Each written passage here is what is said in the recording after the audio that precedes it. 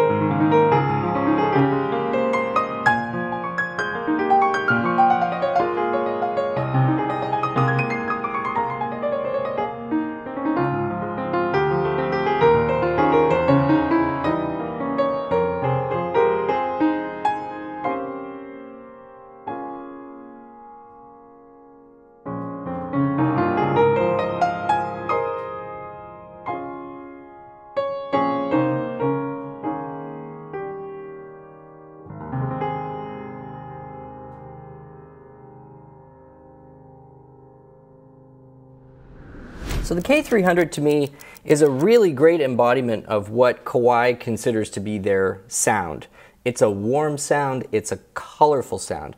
What do we mean by colorful? I mean, these labels always get thrown around, and it's kind of like listening to wine tasters talking. It's like, do they actually mean that? Does it mean anything? Well, when I say complex, this is what I hear. It means that I'm hearing the, the note itself, which we sometimes refer to as the fundamental. It's like the pure version of like the note that you're playing.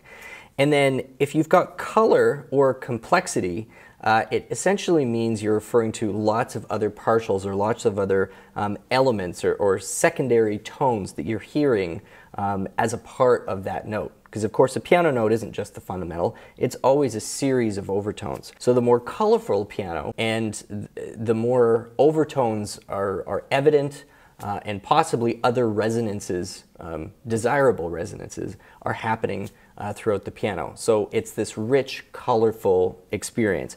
And that's what I get a lot of when I play most Kawais, I would say. It tends to be a very colorful experience. And uh, if you're thinking of this kind of on a stereo EQ, you might like tip it a little bit towards the warm versus the, the bright.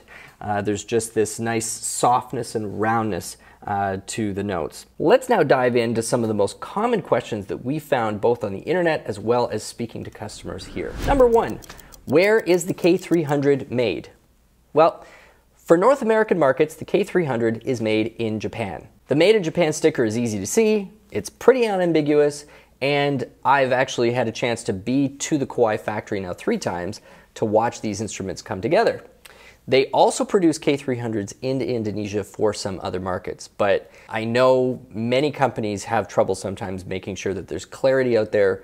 So as far as I can, you know, help with that clarity, if you're buying a K300 in North America, it is made in Japan. period. Question number two, what year did the K300 come out?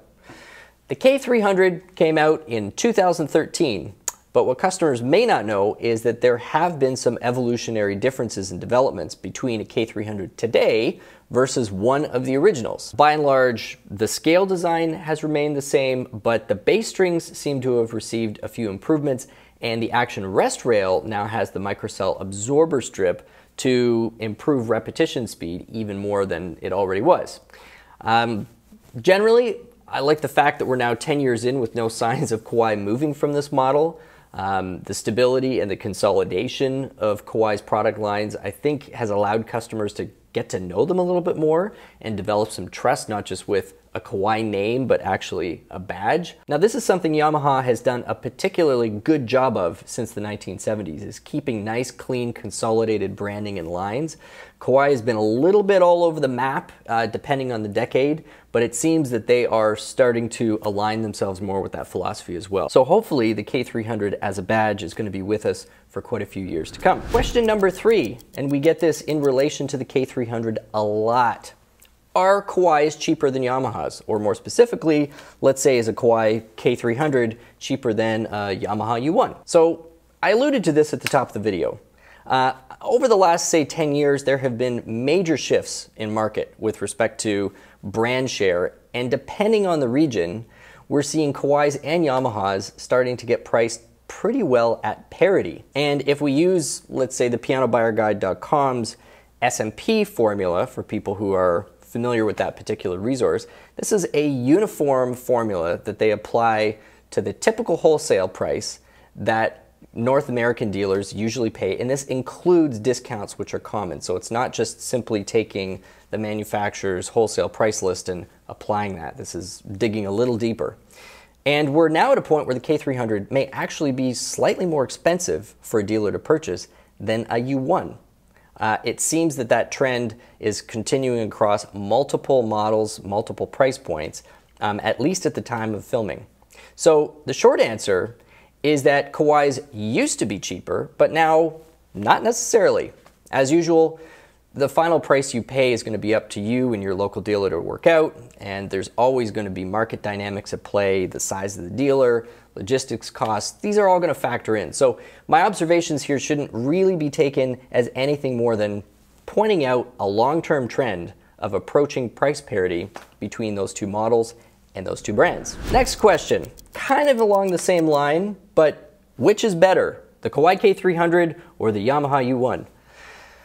Well, few questions in the piano business are going to elicit as passionate a response from all the camps as this one, at least in the upright piano realm. Um, both Kawai and Yamaha have reams of content online, printed, brochures, and they're full of hyperbole and very bold claims. But there are some real differences between these two pianos, and a few of them I think you could objectively consider to be kind of either a better or a worse feature. Firstly, to many people who are not like totally soaked in piano lore, these two models on first glance don't seem to have a lot of daylight between them. They're both very well made. Both companies have stellar reputations for after sales care, factory fit and finish. Uh, they're both really thought of as right at the top of the mass produced industry. So from what I can tell, customer satisfaction is high in both cases. But let's dig a little bit more into what I see as the differences. Firstly, the U1 does certainly use premium materials and it receives considerable factory prep. You know, you don't sit down at a U1 and have a terrible experience like ever, unless you've walked into some piano store and the U1 has been neglected, it's 40 years old, they haven't done anything to it. I mean, that's not exactly a fair comparison. Generally speaking, if you're playing a new U1 or even one that's only a few years old, it's going to be a solid experience. And Yamaha has generally stuck to the same designs that have been present on that instrument since about the late 1990s. They've continued to update the aesthetics on the instrument, and the instrument certainly has a nice, crisp action, and it's got a nice, strong, bright attack. Uh, and I've also found the sustain to be pretty good as well. It's a little less bassy and warm than what you can get out of other 48 inch uprights just due to the scale design. Uh, the bass strings on a U1 do tend to be shorter, but it's certainly not hollow, like it's not anemic, it's, it's a pretty well-rounded sound. And in a typical room in our house, I would, you know, characterize it as a balanced tone with a slightly uh, lighter action. Now, when it comes to the K300, it offers several features which, as I said, I would argue might give it a bit of a musical advantage, but this is all, of course, up to personal preference. For one, it's got a tapered soundboard versus the non-tapered soundboard on the Yamaha. Now, this feature on its own has the potential to increase overall volume output, generally speaking, on any piano. Um, and it's also going to have the potential to increase sustain. And if you execute it well, this is generally accepted as a must feature on pretty well any concert grade instrument. So, as an industry, it's pretty well settled business that the best pianos have tapered soundboards. It's got a faster repetition speed and a greater accuracy when you're playing super quietly. These are measurable things. I know Kawai has done a lot of fancy testing on the on the repetition speed, but you don't need a fancy test. Just sit down and even just try and play triple pianissimo on a K300 and go around to like any other 48 inch upright and you'll be shocked at how evenly and how consistently you're going to hit every note. Everything's going to sound on the K300. Uh, you do start to get into a little wobble and a, and a sense of looseness um, on most other 48 inch uprights.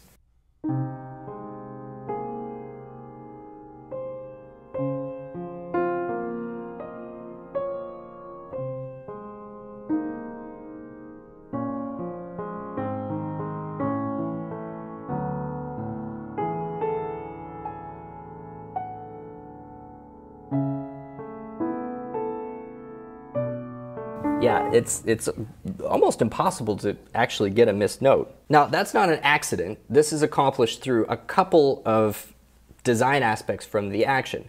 They've got longer key stick length, they've got less mass and more rigidity in the repetition uh, mechanics of the action, and that microcell dampening strip on the action rest rail basically means that if you're playing at a higher velocity, so when that hammer bounces back against the rest rail, uh, that motion is muted and it's in a reset position like several milliseconds earlier than otherwise. And that doesn't sound like it's much, it actually does uh, turn into quite a bit when you're playing. Then finally, the K300 tends to have a richer tone, and we already discussed that uh, when we were playing through the instrument. This is due to a slightly lower scale tension design as well as a slightly larger hammer in combination. So you do get a, a, bigger bloom and you do get a little more of the, of the lower harmonics happening you know, on every note because of some of those design differences. So next on our list, is the Kawai K300 made of plastic and is it gonna last? Well, this question was a lot more common 10 or 15 years ago, but I still hear it come up, and it usually comes up uh, from a competitor. I mean, it could be you know any competitor, and I think that this happens in many, many marketplaces uh, around the world. And I don't actually get it because most of the time, uh, instruments that are being considered alongside a K300 are going to be good instruments with their own list of features and their own list of selling points. It just it doesn't make any sense to me that this keeps getting dragged up as kind of a scare tactic. But here we are. Let's shed a little bit of light on this question. So first of all, Kawai does use several composites and plastics in the manufacture of their piano actions. Um, they're actually pretty proud of it. And while I think they kind of fell flat on their faces for a long time navigating the public relations side of that decision. Uh, to their credit, I think they've proven way beyond a doubt that this was a good and a sensible move. Uh, some have followed suit, like Mason Hamlin, uh, others have not. Um, but for those whose suspicion you know, does get piqued by a question like this, I suspect it's a fear that the composite materials are somehow creating or affecting uh, the tone, like it's not going to be a natural tone, or that maybe its longevity might be affected. Um, first of all, Kawai does not use any uh, composite components, plastic or otherwise, um, in any part that actually generates the tone. So unlike, say, the Mason and Hamlin uh, Wessell Nickel and Gross action that went as far as replacing the hammer shank with carbon fiber, Kawai has maintained a traditional felt and wood hammer and wood hammer shank on all of its actions. Uh, the whippen, the jack, the flange, and the damper mechanisms are strictly mechanical, and I don't think it could be argued that that's not the case. Uh, and that's what's been replaced with the composite materials. And what's always been interesting to think about is 150 years ago, wood was the only material you could really use to get that type of lightweight, um, high precision uh, parts manufactured. Like you couldn't cast uh, aluminum to be that specific. There was no other material that you could really use. And you found this in sports equipment, you found this in aviation. It was super common. Like wood was a lightweight, uh, easy material to work with. Well, we've like moved way beyond that, but I think the association of wood and natural and natural and tone is still kind of one of those links that subconsciously persists. Ultimately, what we've seen over decades of experience with these things is that the action parts are super strong, they're really durable, they reduce the need for regulation, and they do give a faster and more consistent playing experience, particularly in low volumes. And the Kawai K300 uses exactly the same parts and materials in its actions as Kawai uses on the Shigeru Kawai Grands. And those pianos have received practically near universal acclaim and respect. I'm going to leave this question with a quote from one of the industry's most respected voices, Larry Fine. Quote, Although it took a number of years to overcome the idea that composite parts must be inferior, there is essentially no dispute anymore amongst piano technicians on this subject. End quote. So to wrap up this fresh 2023 look at the K300, I'm really excited to see that Kawai is treating this more like how Yamaha has treated the U1 in the past.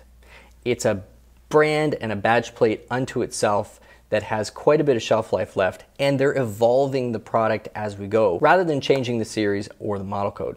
I think this is a really great way for customers to get to know not just the piano, uh, but the brand. And who knows, maybe this is one of the reasons why Yamaha is finding a little more competition against the U1 with the K300 than maybe they're used to with past products. Generally, when it comes to this price range, I think the K300 has the largest dynamic range of any instrument that I have ever played. I think the action is really consistent and great to play on. And I think from a student perspective, for somebody starting out on an upright with the objective of growing into a grand, I think this does a phenomenal job of equipping them with the right sense of feel and the right sense of resistance, and generally a very satisfying musical experience. Thanks again for stopping by to check out the video. This has been Merriam Pianos on YouTube, and if you liked what you saw or you enjoyed it, uh, please consider hitting subscribe and that notification bell so you can come back and join our ever-growing community of piano lovers and aficionados all around the world. My name is Stu Harrison. Thanks again for tuning in. We'll see you again soon.